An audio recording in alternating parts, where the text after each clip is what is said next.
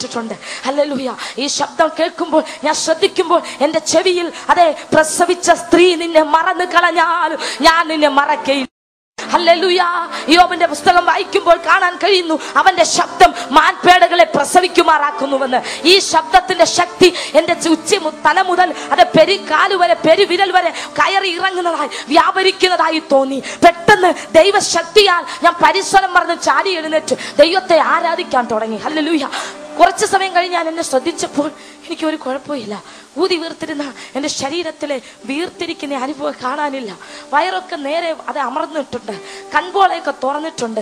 നീര് കൊണ്ട് കൺപോളയൊക്കെ അമർ അടഞ്ഞു പോയിരുന്നു അതൊക്കെ തുറന്നിട്ടുണ്ട്. വേദനയില്ല. പിന്നെയും ചാടി നോക്കി. വേദനയില്ല. പ്രൈസലോട് ഹല്ലലുയ അതെ പിൻ അതെ ഞാൻ എനിക്ക് അപ്പോൾ ഇങ്ങനെ തോന്നി. ഞാൻ മരിച്ചു. അതെ സ്വർഗത്തിൽ എത്തി. പ്രൈസൽ ദൈവത്തോട് കൂടെ ആയിരിക്കുമെന്ന് ഇപ്പം. എന്നാൽ പിന്നെ എനിക്ക് മനസ്സിലായി. അതെ മരിച്ചു നാല് ദിവസമായ ലാസറിനോട് എന്റെ കർത്താവ് പറഞ്ഞു ലാസറെ പുറത്തു വരിക എന്ന്. അവൻ ജീവൻ പ്രാപിച്ച് ബലം പ്രാപിച്ച് അഴുകി തുടങ്ങി അവന്റെ ശരീരം. അതേ പ്രൈസിനോട് യഥാസ്ഥാനപ്പെട്ട് അവൻ പുറത്തു വന്നുവെന്ന് ബൈബിളിൽ എഴുതിയിരിക്കുന്നത് എന്റെ ശരീരത്തിൽ അതുപോലെ സംഭവിച്ചു. ഹല്ലേലൂയ ഞാൻ തുള്ളിച്ചാടിക്കൊണ്ടിരിക്കുമ്പോൾ ദൈവാത്മാവ് എന്റെ ഉള്ളത്തിൽ ഇങ്ങനെ ഒരു ചിന്ത വന്നു. അമ്മയുടെ ഗർഭം മുതൽ മുടന്തനായ വ്യക്തിയെ കർത്താവ് എന്റെ അടുത്ത് കൊണ്ടുവരുമ്പോൾ അവർ ചോദിച്ചു ഇവനെ ഇവന്റെ അമ്മയപ്പന്മാരെങ്കിലും പാപം ചെയ്തിട്ടാണ് ഇങ്ങനെയായത്? കർത്താവ് പറഞ്ഞു ദൈവനാമം ഇവനെ മഹത്വപ്പെടണമായിരുന്നു. അതുപോലെ ഒരു പ്രവൃത്തി ഇപ്പോൾ വെളിപ്പെടണം. എന്ന് ചിന്തിച്ചുകൊണ്ട് ഞാൻ ഓടി മൂന്ന് നില കെട്ടിടത്തിന്റെ മുകളിൽ ടെറസിന്റെ ഉയരെ കയറി നിന്നു. എല്ലാ ആൾക്കാരെയും വിളിച്ചു വരുത്തി. അവരോട് ഞാൻ എന്റെ അഡ്രസ്സും എന്റെ വീട്ടിൽ പോകുന്ന വഴിയും എന്റെ പിതാവിന്റെ പേരും എന്റെ പേരും ദൈവം എന്നെ വിളിച്ചതും എന്നെ നടത്തിയതും അതുവരെയുള്ള അനുഭവങ്ങൾ വിളിച്ചു പറഞ്ഞിട്ട് ഞാൻ പറഞ്ഞു യേശു ക്രിസ്തു ജീവനുള്ള ദൈവമാണ് അവൻ ജീവിപ്പിക്കുന്ന ദൈവമാണ്. ഹല്ലേലൂയ.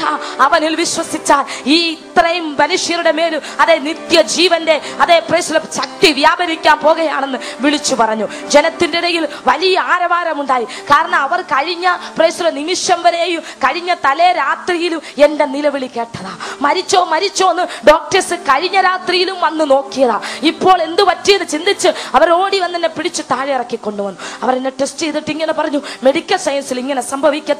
സംഭവിച്ചിട്ടില്ല ഇത് നീ പറയുന്ന യേശു പ്രവർത്തിച്ചതാണെന്ന് ഞങ്ങൾക്ക് വിശ്വസിക്കാതിരിക്കാൻ കഴിയുന്നില്ലെന്ന്.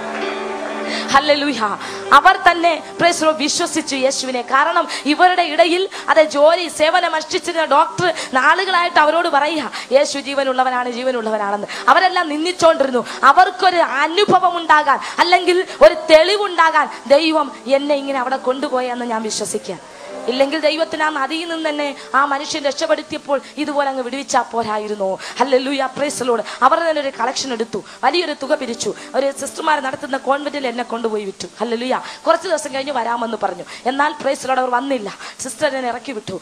എന്നോട് പറഞ്ഞു ഇപ്പോൾ ഇവിടെ കാശടയ്ക്ക് ആരും വരുന്നില്ല. ഇത് സിസ്റ്റർമാരുടെ കോൺവെന്റാ പ്രൈസലോട് അതേ ഹല്ലേലൂയ അഭയാർത്ഥികൾക്കുള്ള അതേ അഭയാർത്ഥി കേന്ദ്രമൊക്കെ പലയിടങ്ങളിലുണ്ട്. ചില സ്ഥലമൊക്കെ എന്നോട് പറഞ്ഞു. അവിടോട്ട് പോകാൻ പറഞ്ഞാൽ അല്പം കാശ് വന്നു എനിക്ക് ആ സ്ഥലവും അറിയത്തില്ല പോകാനും അറിയത്തില്ല.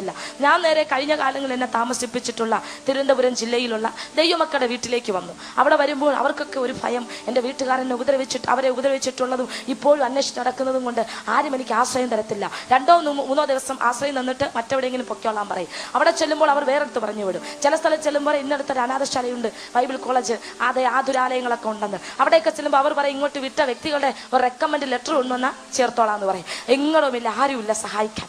അപ്പോഴും ഞാൻ പറയട്ടെ പ്രിയമുള്ളവരെ പരിശുദ്ധാത്മാവിന്റെ സാന്നിധ്യം എന്നോട് കൂടെയിരുന്നു.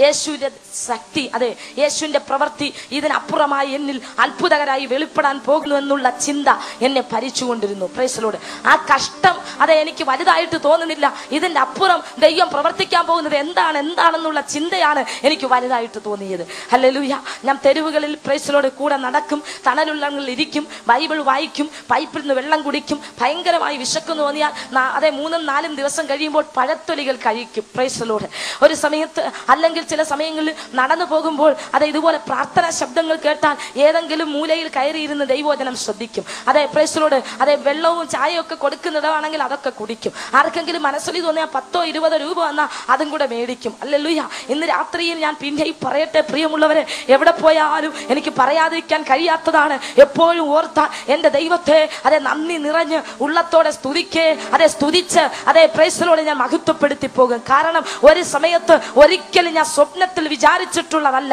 കൂട്ടായ്മകളുടെ അതേ നടുവിൽ പ്രേസിലാണ് ആരെയും കാണാതെ ഒളിച്ച് ഒരു മൂലയിൽ പോയിരുന്ന് ഒരു അഭയാർത്ഥിയെ പോലെ അല്ലെങ്കിൽ ഒരു തെരുവ് അതെ ഒരു പിച്ചക്കാരിയെ പോലെ കൂനിക്കൂടിയിരുന്ന ഒരു വ്യക്തിയാണ് ഞാൻ. പോസ്റ്ററുകളിൽ പരസ്യം കാണുമ്പോൾ ആ പരസ്യം കാണുന്ന കൂട്ടായ്മകളുടെ ഒരു മൂലയിൽ ഈ പറഞ്ഞതുപോലെ പോയിരുന്നു. എന്നാൽ എന്റെ ദൈവം എന്നെ അതേ പ്രൈസലോട് അതേ മുമ്പന്മാരായ അതേ ഹല്ലലൂയ ദൈവദാസന്മാരുടെ അതേ നിരയിൽ എന്റെ ഫോട്ടോ പേരും കൂടെ വരുമാറ് അതുപോലുള്ള കൂട്ടായ്മകളുടെ നടുവിൽ എന്നെ ഉയർത്തി എന്നെ കർത്താവിനെ കൊണ്ട് കർത്താവിനെ എന്നെ കൊണ്ട് പ്രസംഗിക്കുമാർ എന്നെ മാനിച്ച ദൈവത്തിന്റെ പ്രവൃത്തി ഓർത്ത് ഞാൻ ദൈവത്തെ മഹത്വപ്പെടുത്തുകയാണ്.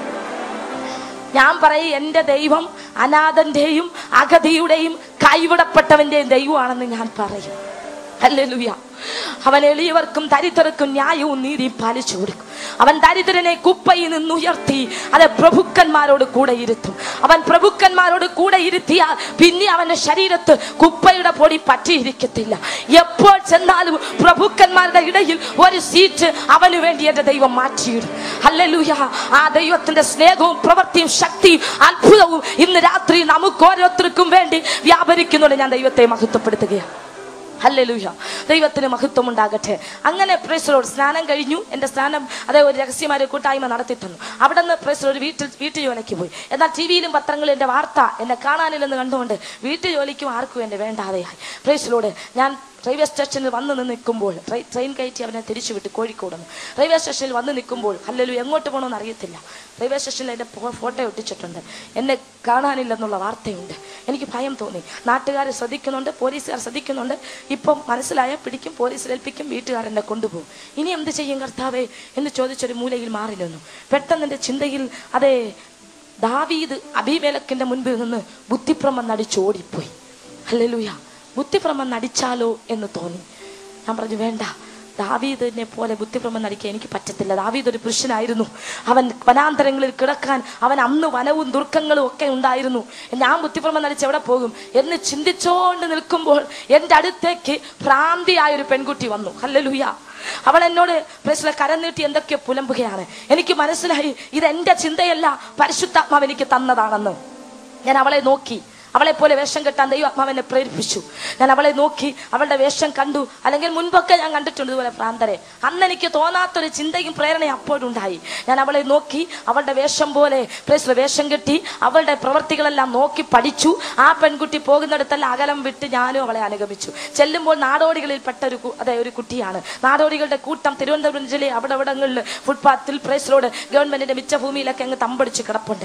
അവരുടെ കൂടെ ഞാനും ഒരറ്റത്ത് പേപ്പർ വിരിച്ച് തുണി വിരിച്ച് കിടന്നുറങ്ങും. ഹല്ലേലൂയ.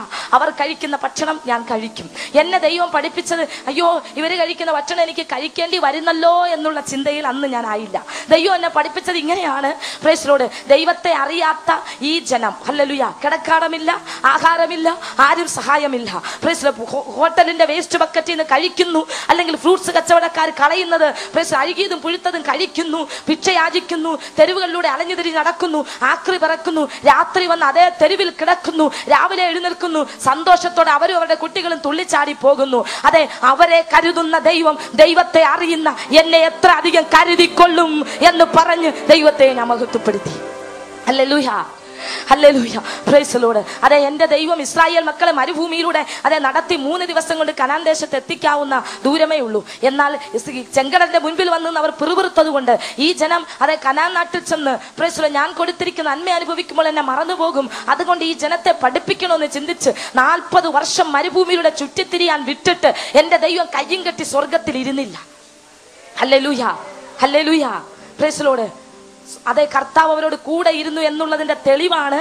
അതെ പ്രേസിലൂടെ അതെ ഒറ്റപ്പെടലുള്ള അല്ലെങ്കിൽ ഏകാന്തതയുള്ള ആൾപ്പാർപ്പില്ലാത്ത പ്രൈസലോട് കൂരിരുൾ നിറഞ്ഞ അതിശൈത്യവും ചൂടും നിറഞ്ഞ അപകടങ്ങളും അനർത്ഥങ്ങളും നിറഞ്ഞ മരുഭൂമിയിൽ പകൽ മേഘസ്തംഭമായി രാത്രിയിൽ അഗ്നിത്തൂണായി കർത്താവ് അവരോട് കൂടെ നടന്നു. അവർക്ക് ആഗ്രഹമുള്ളപ്പോൾ മന്ന കൊടുത്തു. അവർ ആഗ്രഹിച്ചപ്പോൾ കാടപ്പക്ഷിയെ കൊടുത്തു. പിന്നീട് കർത്താവ് അവരോട് കൂടെ ഇരുന്നു. പ്രൈസിലോട് ഞാൻ പറയാം പ്രിയമുള്ളവരെ കർത്താവ് പരീക്ഷണ ഘട്ടങ്ങളിൽ നമ്മെ കടത്തി വിടുമ്പോൾ അവൻ നമ്മെ കൈവിട്ടിട്ട് മാറിയിരിക്കത്തില്ല. അവൻ നമ്മോട് കൂടെ ഇരിക്കും. അതുകൊണ്ട് ഞാൻ ഇങ്ങനെ വിശ്വസിച്ചു. ഞാൻ തെരുവിൽ അല്ലെങ്കിൽ ഫുട്പാത്തിൽ പേപ്പർ വിരിച്ച് കിടന്നപ്പോൾ എന്നോട് കൂടെ ദൈവവും അവിടെ ഉണ്ടായിരുന്നു.